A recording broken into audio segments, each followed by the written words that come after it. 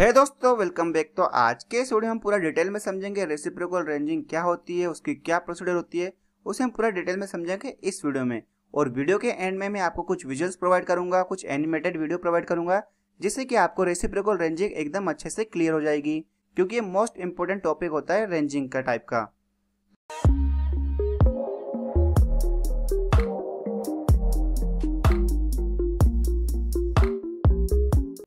तो reciprocal ranging को भी हम अच्छे से समझ लेते हैं।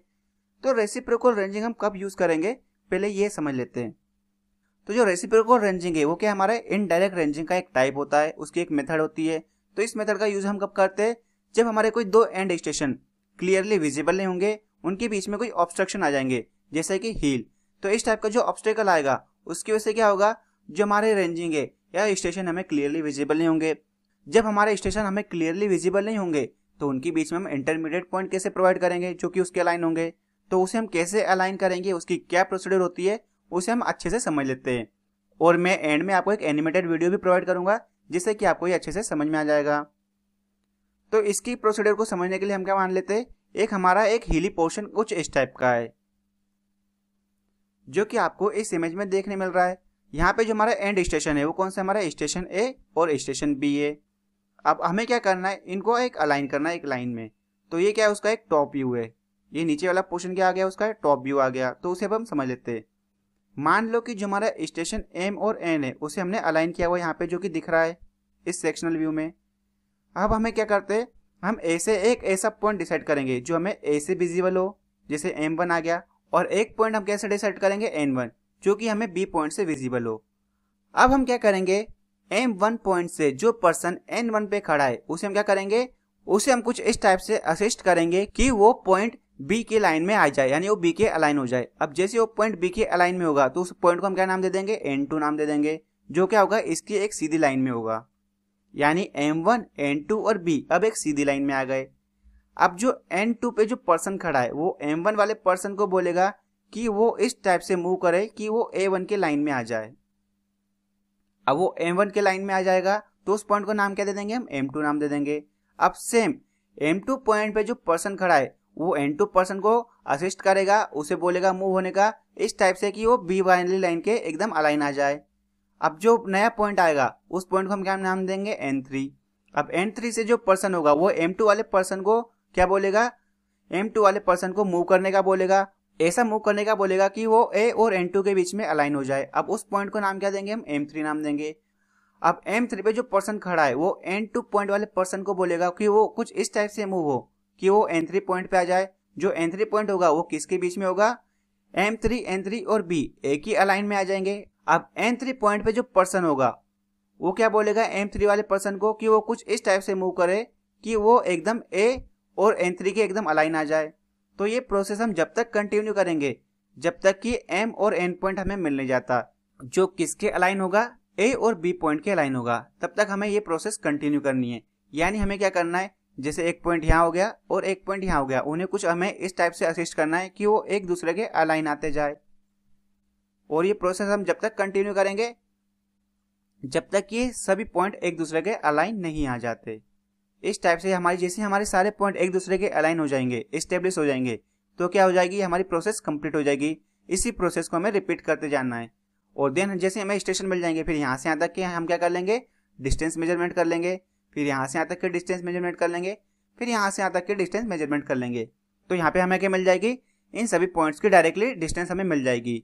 और यहाँ पे जो हम डिस्टेंस मेज़रमेंट करेंगे, वो भी हमारी क्या होगी? इनडायरेक्ट मेथड होगी। इंटरपोलेशन मेथड का हम यूज़ करेंगे।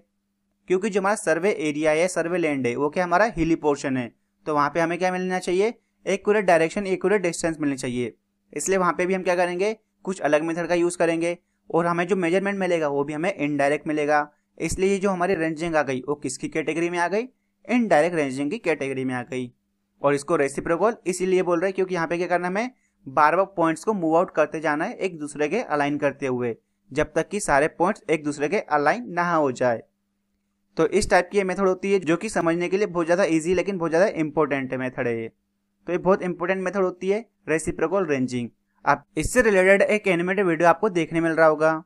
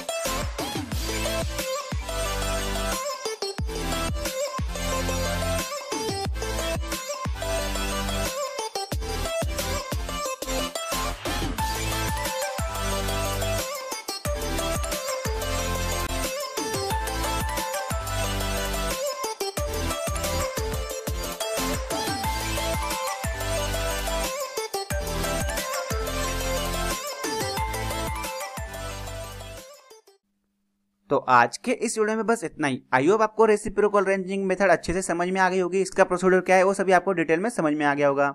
तो अगर ये वीडियो आपको समझ में आया है और वीडियो आपके लिए हेल्पफुल है तो वीडियो को जो लाइक करना। साथ ही इस वीडियो को अपने दोस्तों के साथ ज़रूर शेयर करना, जिससे उन तक भी इससे रिलेटेड इन्फॉर्मेशन पहुँच सके।